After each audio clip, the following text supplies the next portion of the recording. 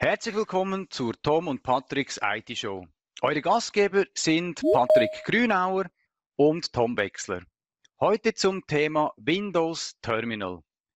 Damit Sie sich alles nochmals in aller Ruhe anschauen können, werden wir, wie schon erwähnt, die Session aufzeichnen und dann später auf YouTube zur Verfügung stellen. Wir werden Ihre Fragen gerne am Schluss von dieser Session beantworten. So, Jetzt aber ein kurzer Verbindungstest nach Österreich, weil die Leitungen zwischen Schweiz und Österreich sind ja immer sehr lange. Darum möchte ich wissen, Patrick, hörst du und siehst du mich? Servus, höre und sehe dich. Ja, die Leitungen in der Schweiz sind aber wesentlich besser wie die österreichischen Leitungen, aber wahrscheinlich auch ein bisschen teurer. Ja, das könnte ich mir vorstellen. Ob sie dann wirklich besser sind, das weiß ich nicht. Aber ähm, Sie sind sicherlich teurer, das kann ich mal unterschreiben.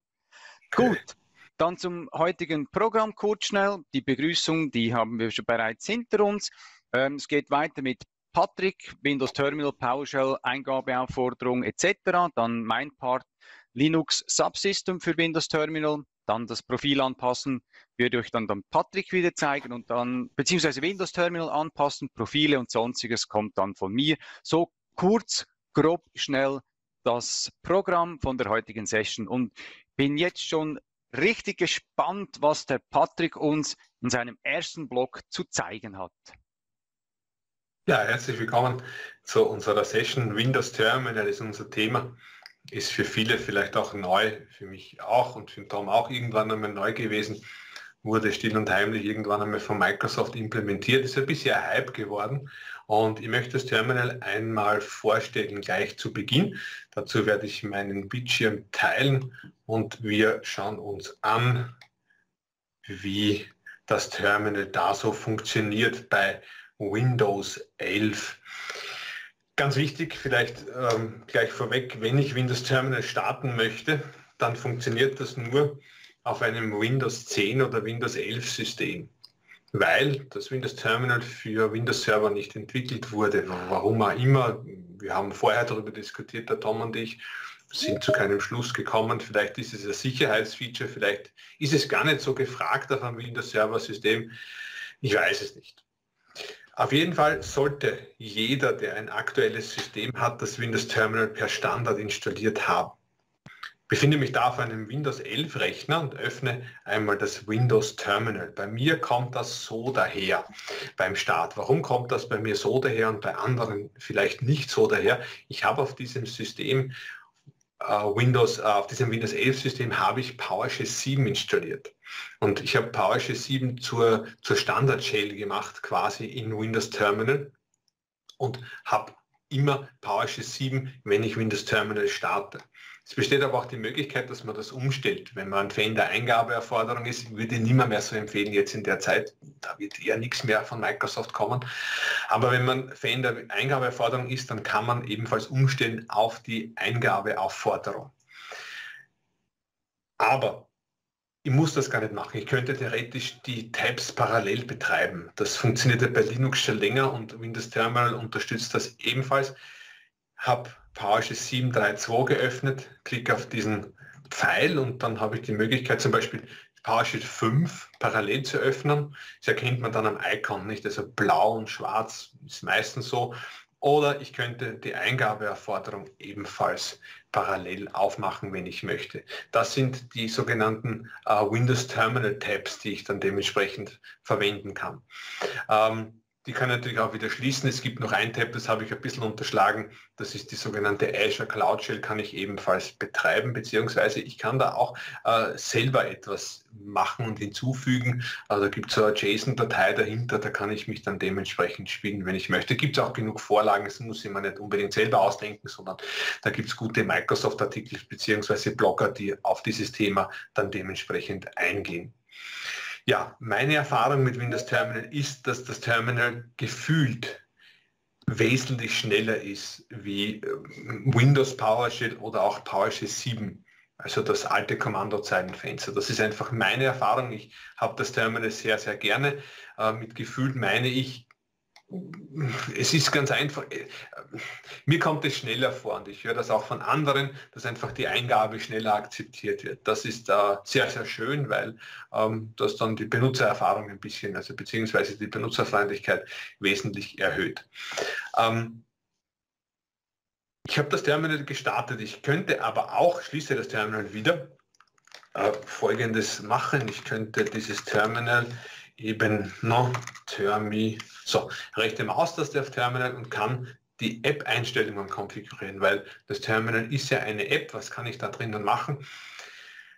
Könnte beispielsweise äh, im Hintergrund, also die, die, äh, die Hintergrund, äh, das Hintergrundverhalten quasi ändern, wird bei der Anmeldung ausgeführt. Dann wird das Terminal ins Autostart gelegt. Also nachdem ich mich anmelde, wird automatisch das Terminal gestartet. Werden wahrscheinlich die wenigsten brauchen. Ich brauche nicht immer das Terminal, außer ich bin wirklich nur in PowerShell unterwegs. Gibt auch, gibt es natürlich auch, aber ich glaube einmal, dass das nicht so häufig unbedingt verwendet wird. Dann kann ich das beenden, beziehungsweise was ich auch schon mal braucht habe, ist, ich habe die App zurückgesetzt, hat nicht mehr funktioniert, habe die App gestartet, hat nur immer geblinkt, der Cursor hat so geblinkt und habe nicht gewusst, was ich machen soll und habe einfach auf Zurücksetzen geklickt, beziehungsweise ich kann natürlich die App ebenfalls, wenn ich möchte, deinstallieren. Was auf jeden Fall das Terminal nicht ersetzen kann. Also das Terminal soll eben die Kommandozeiten ersetzen, das ist PowerShell 7, PowerShell 5.1, das auch nicht mehr weiterentwickelt wird, und die Eingabeerforderung. Aber wo Windows Terminal nicht als Konkurrenz angesehen werden sollte, ist zu den sogenannten Editoren, wie zum Beispiel ähm, Windows PowerShell ISE. Also das Terminal ist immer noch ein, ich würde mal sagen, so ein, so ein Quick and Dirty Tool, wo ich einen Ping ausführe, einen schnellen Ping, vielleicht irgendwelche One-Liner erstelle in PowerShell. Aber wenn ich wirklich skripten möchte und, äh, ja, und, und ich etwas Größeres vorhabe, dann sollte ich mir einen Editor holen in den Vordergrund, weil mit dem Windows Terminal werde ich wahrscheinlich nicht unbedingt, nicht unbedingt glücklich werden. Gut. So, ansonsten, ähm, ich öffne das Terminal noch einmal. So. Gut, habe das Terminal hier offen. Ähm, was wollte ich noch herzeigen? Ich wollte noch herzeigen, genau, die Version, die ist nämlich insofern wichtig. Äh, das Terminal wird automatisch mit Windows Updates abgedatet. Ich habe hier die Version 1.16.10.262 vor mir Gut, ist jetzt eine Zahl, für mich auch. Ne? Aber ähm, ich habe die Möglichkeit, dieses Windows Terminal eben mit dieser Version beziehungsweise mit einer Vorgängerversion mit ein paar Kniffen, und die werde ich eben dann in, der, in, meinem zweiten Teil dann herzeigen, auf einen Windows Server zu installieren. Also wer verliebt ist in das Windows Terminal, der kann das auch am Windows Server benutzen. Es hat einen Nachteil, ähm, wenn ich das am Windows Server installiere, dann äh, wird das mit Windows Updates nicht automatisch abgedatet. Das ist eben ein bisschen ein Nachteil vom, vom, vom Windows Terminal. Und es ist auch ein, ein Workaround. Das muss ich dann auch wollen, weil ich installiere eine Software, die eigentlich nicht für Windows Server gemacht wurde. Es wird den Server nicht zerstören, aber ja, muss man eben dementsprechend wollen, beziehungsweise muss man sich dementsprechend drüber, drüber trauen.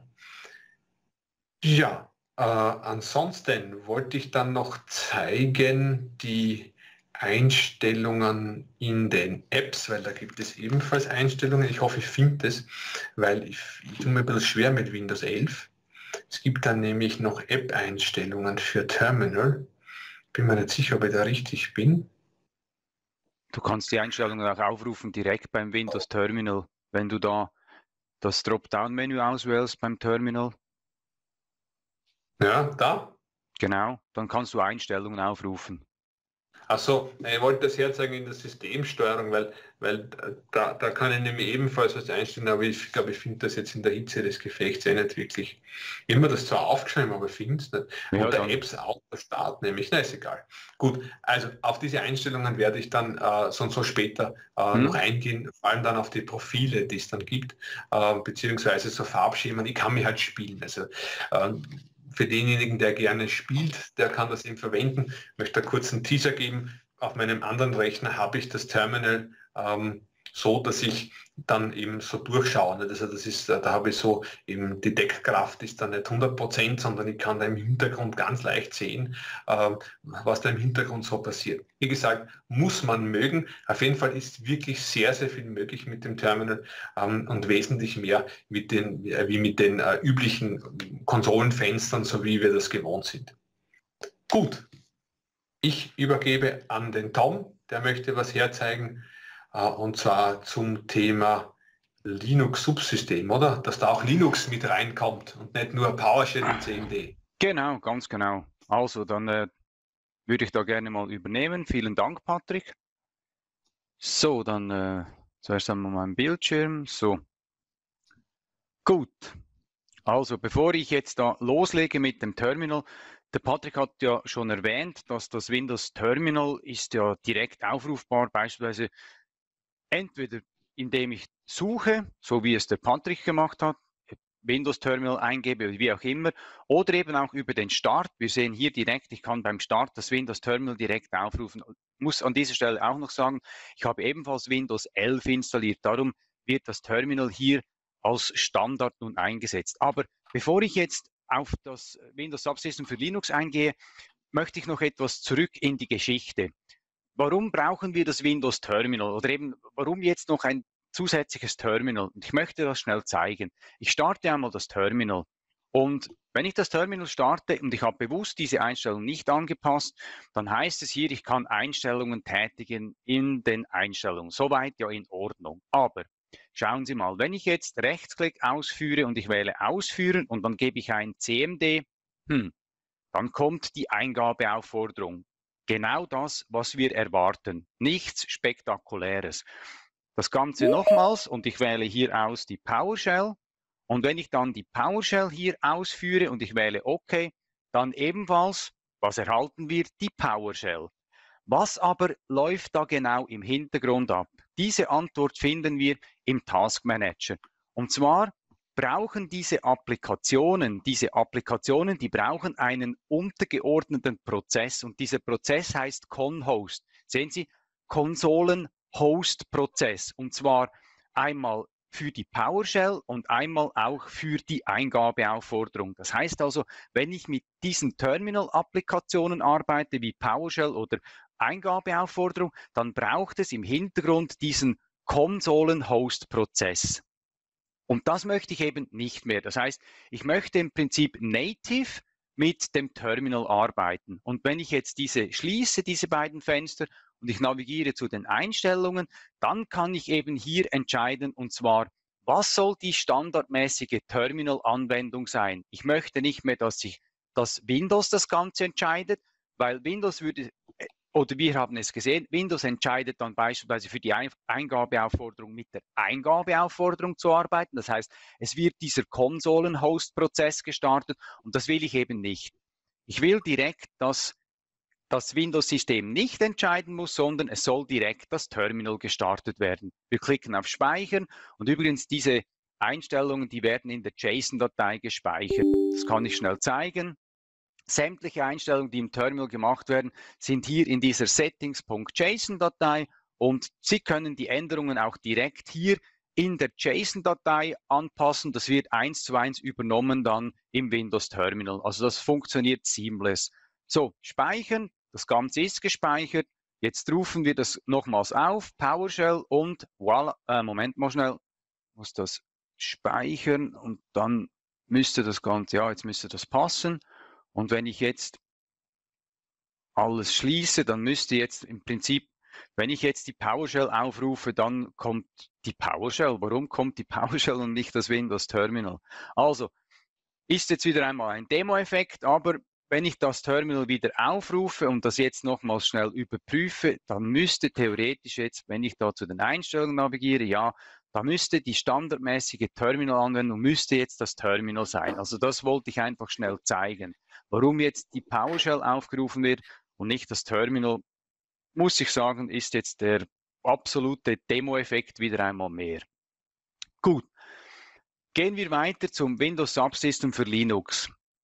Wenn Sie mit dem Windows Subsystem für Linux arbeiten, das muss man in den äh, App-Einstellungen nachinstallieren oder auch die VM-Plattformunterstützung, dann gibt es eine direkte Integration in das Windows Terminal. Und das muss ich sagen, das finde ich persönlich echt eine starke Sache, weil es heißt immer, Microsoft und Linux, die arbeiten nicht miteinander. Das ist völliger Quatsch. Das ist so altgebacken, das stimmt überhaupt nicht mehr. Und das will ich Ihnen mal schnell zeigen. Also ich habe die Vorbereitungen getroffen, ich habe das Windows Subsystem für Linux installiert und, die, und das Feature VM Platform. Und jetzt will ich Ihnen mal etwas zeigen. Stellen Sie sich vor, Sie interessieren sich für Linux oder Sie möchten Linux kennenlernen. Es gibt verschiedene Distributionen. Jede Distribution hat ein eigenes Paketmanagement, sage ich jetzt mal. Red Hat-basierende Systeme haben ein Paketmanagement, Debian-basierende Systeme haben ein Paketmanagement und sie möchten das testen. Jetzt will ich Ihnen zeigen, wie das funktioniert. Und zwar, ich habe einige Linux-Distributionen bereits installiert. Zum Beispiel Alma Linux ist Red Hat basierend, Ubuntu ist Debian basierend. Und jetzt zeige ich Ihnen mal etwas. Wir verwenden die Kommandopalette, die können Sie aufrufen, die Befehl, also Befehls- oder Kommandopalette über diese Funktion oder ganz einfach mit Ctrl, Shift und P. So, und jetzt wähle ich Bereich aus. Der Patrick hat uns gezeigt, dass wir mit verschiedenen Tabs arbeiten können. Wir können aber auch mit verschiedenen Bereichen arbeiten. Und jetzt möchte ich den Bereich teilen und zwar Split Right. Und schauen Sie mal, wir haben jetzt im gleichen Terminal, im gleichen Tab haben wir zwei unterschiedliche, ja, ich sage jetzt mal bewusst Sessions. Es ist zwar beides mal die PowerShell gestartet, aber ich kann auch in dieser Session zum Beispiel die PowerShell 7 starten, PWSH, so, dann haben wir die PowerShell 7. Jetzt arbeite ich hier mit der alten Desktop-Version und hier mit der neuen Version. Aber ich will Ihnen zeigen, wie Sie das vergleichen können, beispielsweise mit Linux. Verwende WSL, Abstand minus D und dann rufe ich minus D steht für Distribution. Jetzt rufe ich Alma Linux auf. Und wir haben nun Alma Linux in dieser Session. Die Distribution wird gestartet und schauen Sie mal, jetzt haben wir hier Alma Linux. Auf dieser Seite, da möchte ich mit Ubuntu arbeiten. Zuerst einmal die Auflistung, was steht mir zur Verfügung, WSL Abstand minus minus und dann gebe ich an List. Aha, steht mir Ubuntu minus 22.04 zur Verfügung, WSL Abstand minus D und dann gebe ich an Ubuntu minus 22.04 und die Distribution ist gestartet. So, jetzt habe ich zwei unterschiedliche Linux-Systeme, die ich direkt parallel miteinander vergleichen kann. Der Paketmanager bei Red Hat basierenden Systemen ist DNF. Das heißt, mit DNF Abstand Update kann ich zum Beispiel die Linux-Maschine, die Alma Linux-Maschine direkt jetzt aktualisieren drücke die Enter-Taste. Nein, ich gebe noch das Minus Y mit, damit ich keine Fragen beantworten muss. Und selbstverständlich brauche ich dazu erhöhte Rechte, damit das Ganze funktioniert. Gebe da mein Kennwort an und los geht die Aktualisierung. Aha, alles ist in Ordnung, es gibt nichts zu aktualisieren.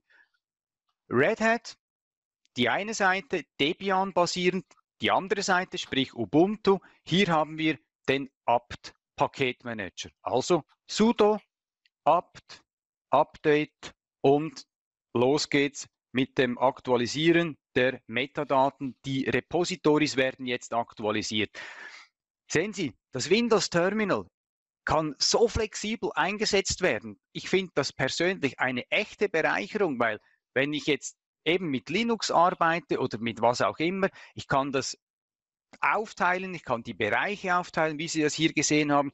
Also das ist für mich ein echter Vorteil, wenn dieses Terminal so eingesetzt werden kann, das Windows-Terminal, eben für unterschiedliche Einsatzzwecke. Und das, ähm, das wollte ich Ihnen unbedingt zeigen. Und noch der letzte Punkt, wenn ich eine neue Distribution hinzufüge, also wenn ich jetzt da zum Beispiel zur PowerShell navigiere, jetzt verwende ich wieder WSL, WSL, das ist der Befehl, und jetzt sage ich mal WSL Abstand minus minus List, Abstand minus minus online, damit ich die Online-Distribution sehe. Jetzt kann ich ganz einfach diese Version hier, die kann ich ganz einfach installieren. WSL Abstand minus minus install und dann gebe ich an diese, den Name von der Distribution minus D und dann der Name von der Distribution, das Ganze einfügen und drücke die Enter-Taste.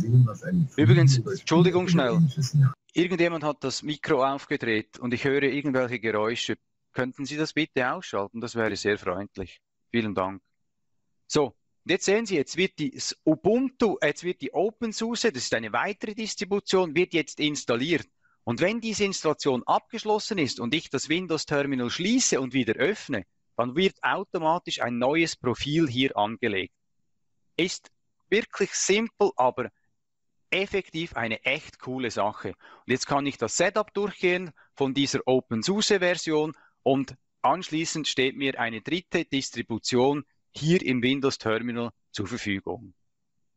So, das war einmal mein erster Blog zum Windows Terminal. Patrick, hast du noch etwas okay. hinzuzufügen?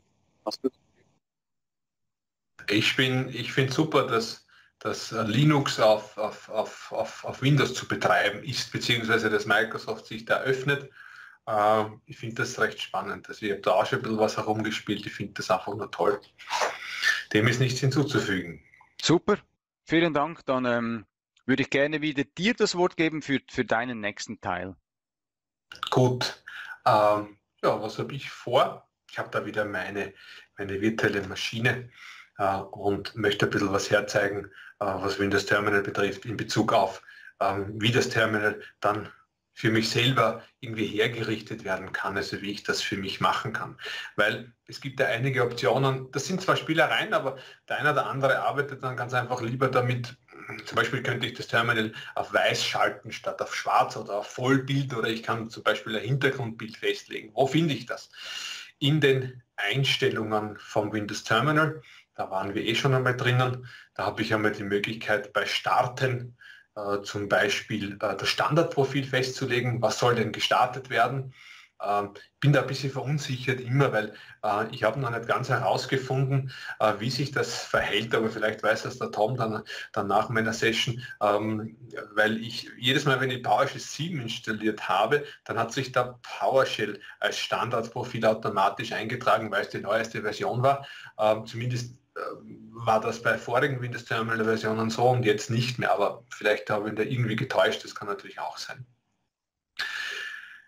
Gut, dann bei Interaktion, ich gehe das ein bisschen durch, weil es sind einfach so viele Einstellungen. Bei Interaktion sehe ich dann so Sachen wie zum Beispiel automatisches Kopieren in die Zwischenablage, oder URLs automatisch erkennen und klickbar machen. Also ich kann dann auf die URL draufklicken. Das war, glaube ich, bei den anderen Konsolen auch nicht wirklich möglich, falls ihr das einmal braucht. Ähm, wir werden das nachher sehen, weil ich werde dann jetzt in der, im, im zweiten Teil bei mir werde ich dann nämlich äh, ähm, über eine URL Windows Terminal installieren auf einem Windows Server.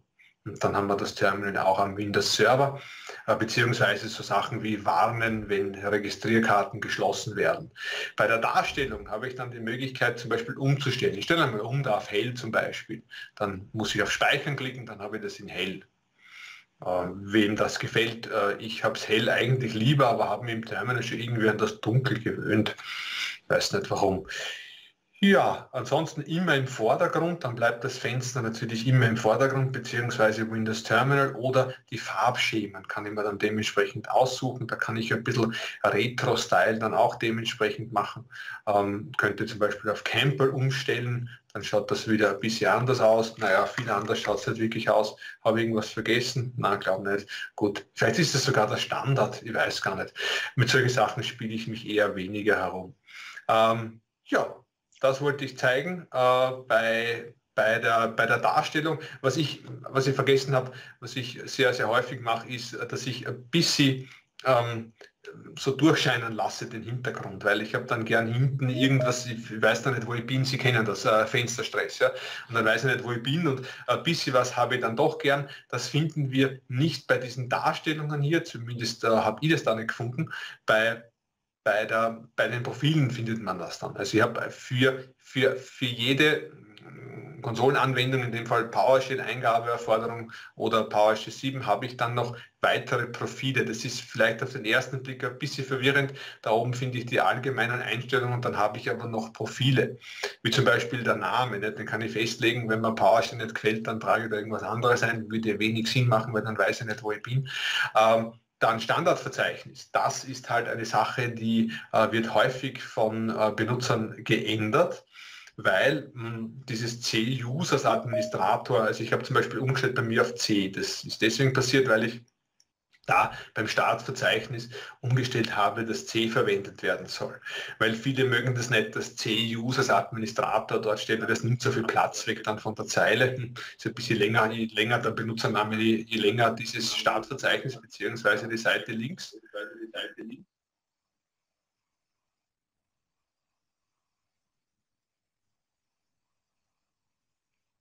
Patrick, jetzt hören wir dich nicht mehr, du bist mute. Jetzt hören wir dich nicht mehr, du bist mute.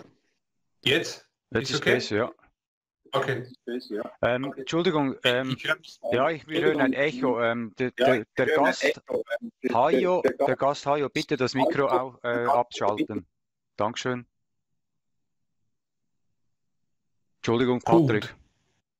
Passt. Na, ich habe selber gehört, ich war ein bisschen irritiert dann, das irritiert ein bisschen. So, da ist das bei der Darstellung. Das mache ich dann doch recht gerne, dass ich den ähm, äh, dann eben das dementsprechend äh, so transparent mache ein bisschen. Hintergrundbild habe ich auch einmal hinterlegt, ist lustig, aber ja, Hintergrunddeckkraft, von dem sprechen wir.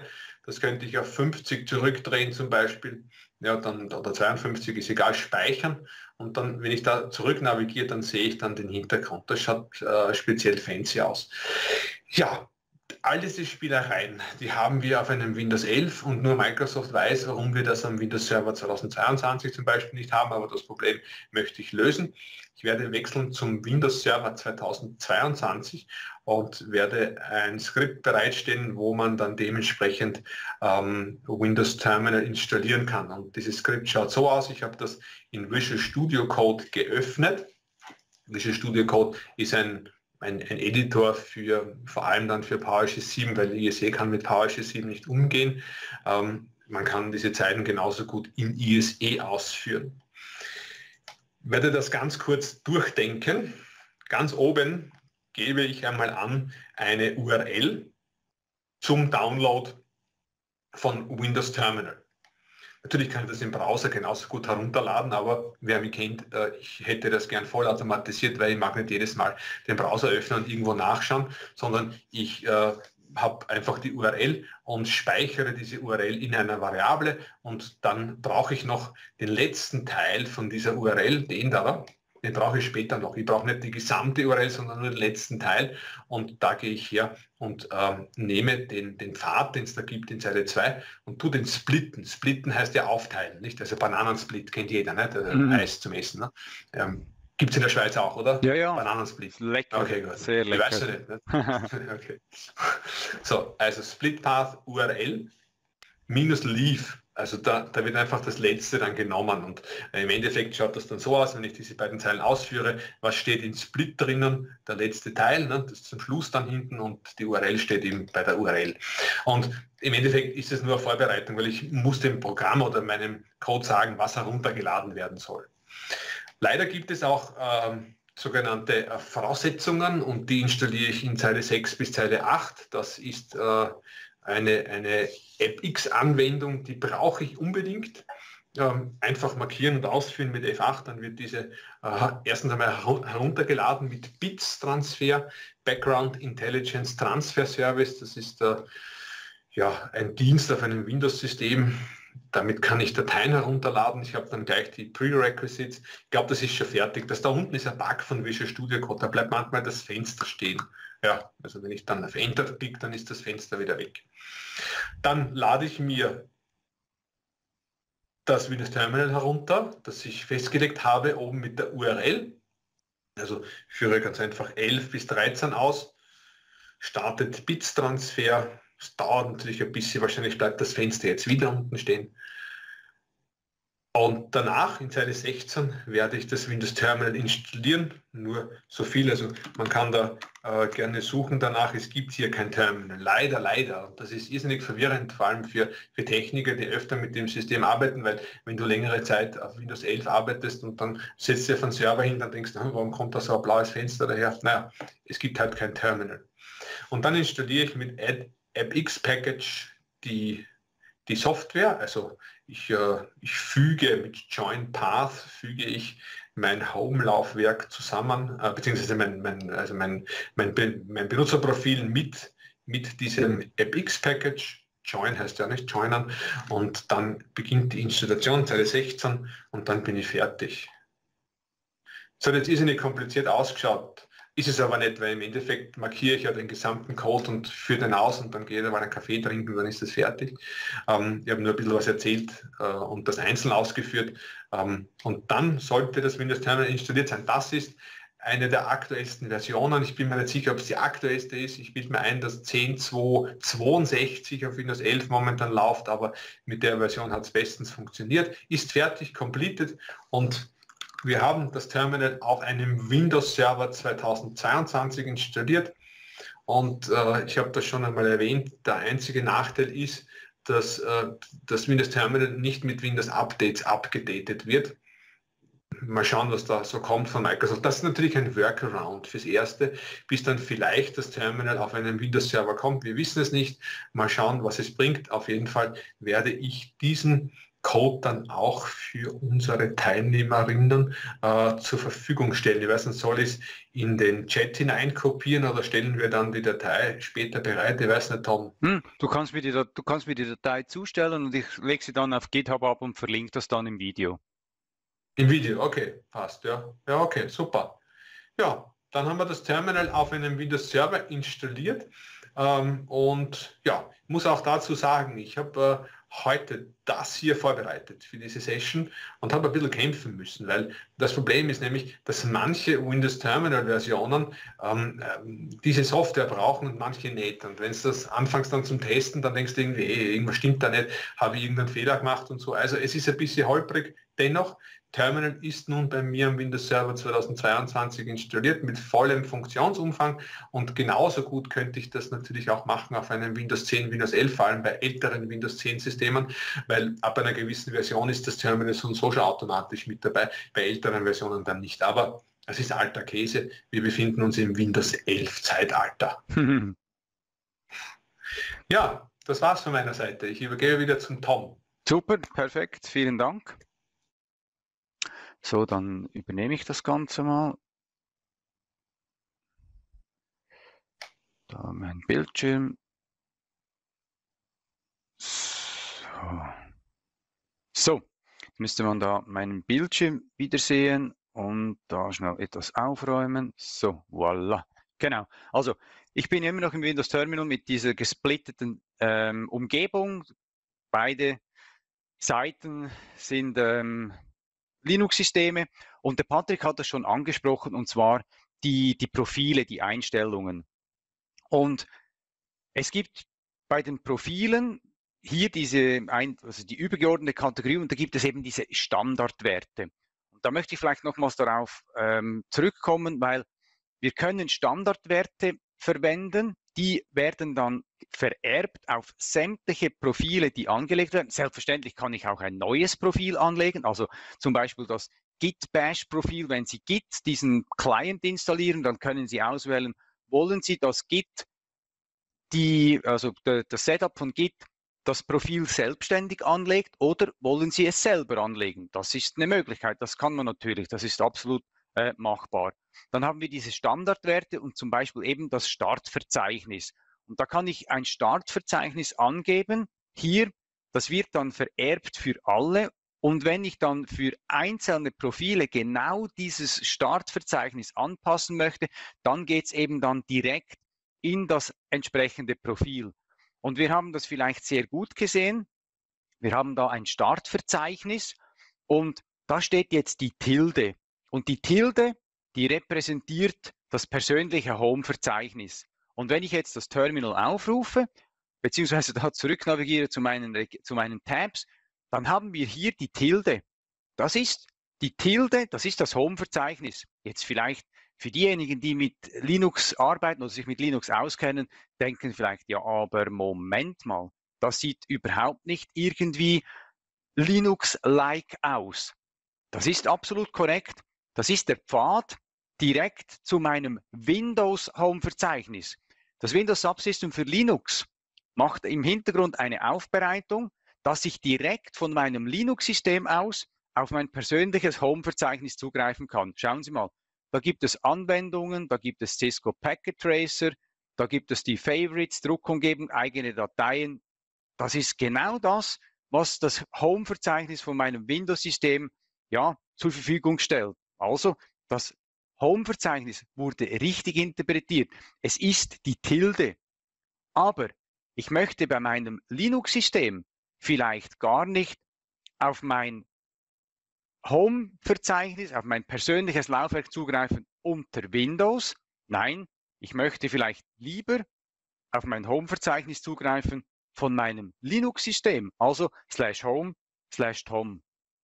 Dann wählen wir Speichern aus, dann werden die Einstellungen gespeichert. Jetzt wurde das Terminal einfach geschlossen, das ist wieder super interessant, das hat wieder so ein, eine Art Demo-Effekt. Keine Ahnung, warum sich das Terminal bei mir wieder mal selbstständig macht, aber spielt keine Rolle. Lassen Sie uns das schnell prüfen.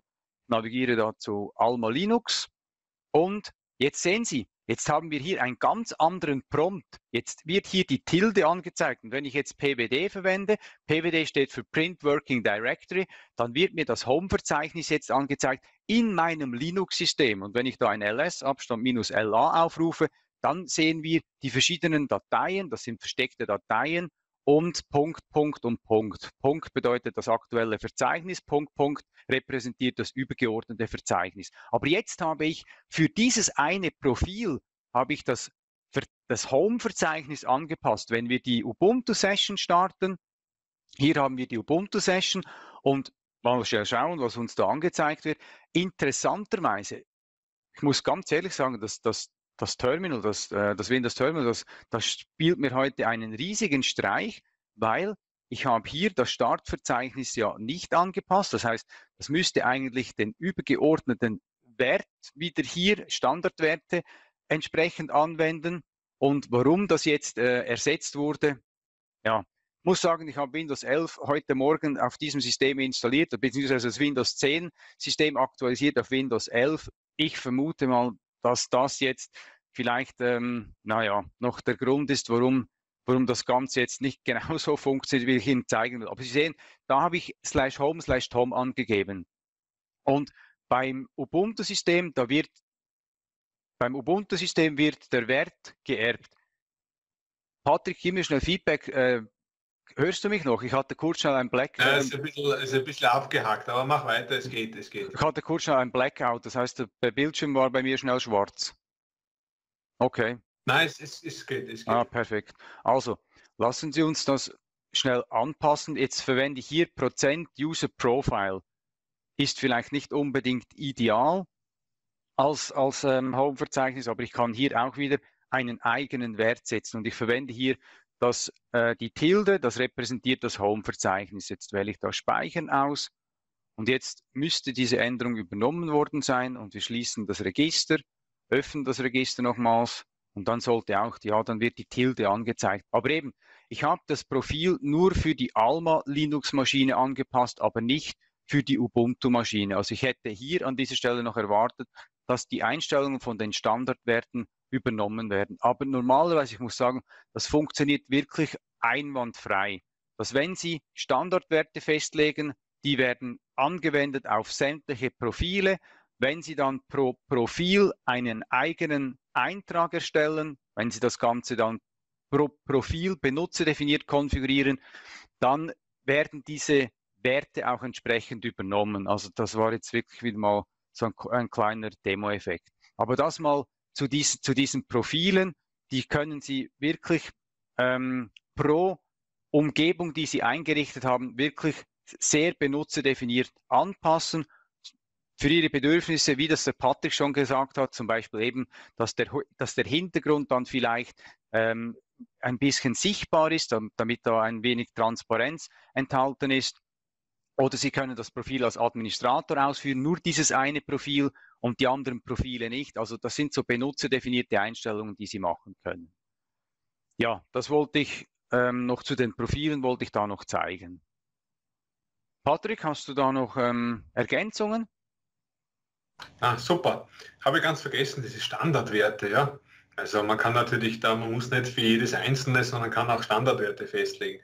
Ja, was ich noch dazu sagen wollte, das ist live. Nicht? Also wir können da nichts mhm. rausschneiden, es passiert halt manchmal etwas. Das ist, das ist ganz normal und das ist aber auch schön, weil es authentisch ist. Ja, genau. Ähm, also ich lasse es auch manchmal in meinen Videos drinnen, wenn mir irgendwas passiert, weil sonst ist es zu perfekt, das ist auch langweilig. Absolut, also eben, ich muss ganz ehrlich sagen, ich kann mir nicht erklären, warum hier, wenn ich das umstelle, wenn ich sage, ich will, dass das Terminal verwendet wird für sämtliche Applikationen, wenn ich da auf Speichern klicke und ich jetzt hier mhm. auf, auf Start ausführen gehe und ich sage hier PowerShell, dann muss dann muss das Terminal gestartet werden. Das, wieso dass das bei mir nicht funktioniert? Ich bin 100% überzeugt, weil ich dieses Update gemacht habe von Windows 10 auf Windows 11, dass, diese, dass das nicht korrekt übernommen wurde, weil ich habe das schon bei, bei reinen, also als bei Neuinstallationen von Windows 11, habe ich das schon x-mal gemacht und das funktioniert einwandfrei. Also das ist 100% geschuldet von diesem Update von Windows 10 auf Windows 11, dass diese Funktionalitäten nicht korrekt angewendet werden. Da bin mhm. ich äh, 100% überzeugt. Aber eben der Patrick hat es gesagt, das ist live, es ist nichts geschnitten, ohne doppelten Boden, es ist einfach so, wie es ist.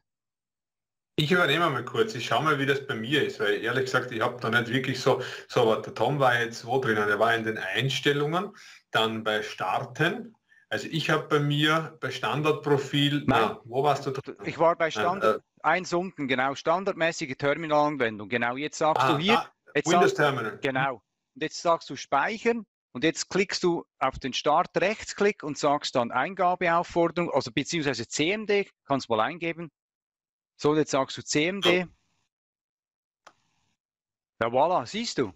Funktioniert ja, genauso. Warum das es bei mir nicht funktioniert, ist mir ein, ist, ja. ist wirklich, ist mir ein, ein Rätsel. Auch mit den Profileinstellungen. Ich habe ein Profil angepasst und nicht alle Profile. Das heißt, das Home-Verzeichnis und siehst du, die PowerShell startet auch im Windows Terminal, oder? Und ich habe bei Alma mhm. Linux habe ich das Home-Verzeichnis angepasst. Das war korrekt, aber bei Ubuntu hätte immer noch das Home-Verzeichnis von Windows angezeigt werden müssen. Aber ist ja egal. Wir sehen ja, dass es funktioniert. Ja. Perfekt. Ja, vielleicht nach einem Neustart oder wie auch immer. Das ist immer ein bisschen Jammer. Dass, ja. Auch das Windows Terminal ist noch unter Anführungszeichen relativ neu, kann man sagen, äh, mit diversen Problemen die natürlich genau. auftreten können. Ja, super. Wir sind durch, ne? Ja, würde ich Wir sind für unseren Teil durch. Wir möchten uns recht herzlich bedanken für die sehr, sehr zahlreiche Teilnahme. Es sind doch sehr, sehr viele gekommen.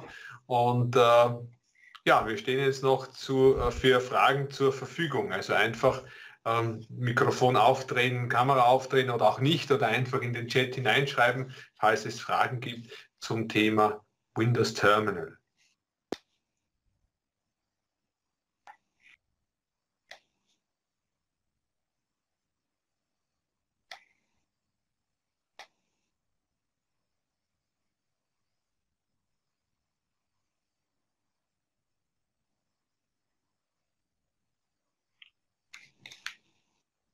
Meine, wir hätten eine Frage hätten wir drinnen im Chat.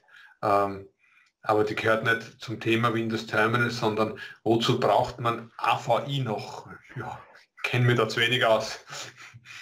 Ja, das ist halt, das AVI-Format ist also für, vor allem halt für, für Aufnahmen ist das als RAW, als, als, wie sagt man, als RAW, RAW-Format ist es halt, ähm, ja, ich sage jetzt mal, sehr hilfreich, weil man kann, man kann dann die unterschiedlichsten ähm, ich sage es mal, also wie soll ich sagen, wenn ich das AVI-Format habe, ich kann es dann unterschiedlich weiter bearbeiten. Ich kann dann das beim Schneiden, ich kann verschiedene, ich kann die Spuren auseinandernehmen, das können andere Formate sicherlich auch, aber es ist für mich so das rohe Format, das RAW-Format und dann schlussendlich wird das Ganze konvertiert in MP4 oder was dann auch immer äh, schlussendlich gewünscht wird. Also für mich ist das immer okay. noch ein, ein sehr äh, praktisches Format.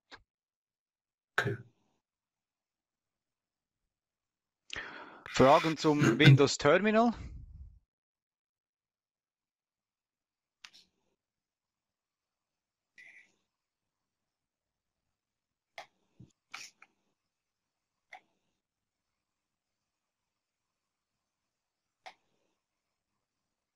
Keine Fragen?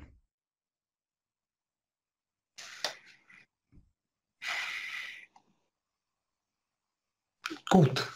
Ja, wenn es keine Fragen mehr gibt, dann haben wir alles richtig gemacht, alles ist klar. Genau, würde ich auch sagen, ja genau. Ja, wir ah. bedanken uns recht herzlich. Es, es kam noch eine Frage. Es kam noch eine Frage. Okay.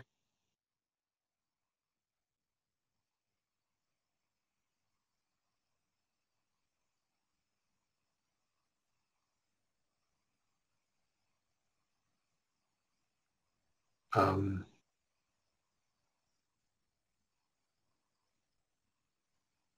Ähm, das ist eine, das ist eine Lizenzfrage. Äh, also hat okay mal nichts zu tun mit Windows Terminal und, und ähm, muss ich ganz, ich weiß nicht, wie es du siehst, Patrick, aber ähm, das Thema Lizenzen, Remote Desktop Services und das Thema Lizenzen, das ist, äh, das ist eine eigene Geschichte. Also ich kann da, ich kann da kein, kein keine direkte Auskunft geben, weil ganz einfach ich mich mit der Lizenzierung zu wenig beschäftige, weil das übergebe ich dann auch immer den entsprechenden Spezialisten. Aber vielleicht kannst du dazu was sagen.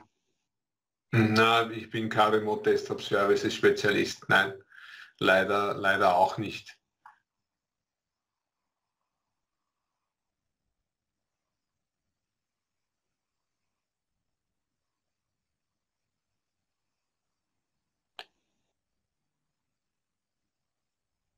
Ja, am besten bei Microsoft anrufen und einmal fragen. Aber, genau. bei 5, wenn aus 5, wenn aus 5 500 werden, ist doch eh schön, nicht? Hat man nur 5 bezahlt. Also, ja, weiß nicht, ob er anrufen wird. Vielleicht eher noch Zeit lassen, schauen wir mal, wie sich das entwickelt. Ne? Mhm. Keine, Schlaf keine schlafenden Hunde wecken. Na, na. Genau. Gut. Ja, dann auch ja. von meiner Seite ebenfalls vielen Dank für das zahlreiche Erscheinen. Das hat natürlich super Spaß gemacht, war ähm, absolut toll und ich bedanke mich für die Aufmerksamkeit und auch von meiner Seite ähm, eine gute Zeit und vielen Dank und bis zum nächsten Mal. Vielen Dank, ja, alles Gute und noch ein schönes Wochenende und hoffentlich bis zum nächsten Mal. Perfekt. Dankeschön.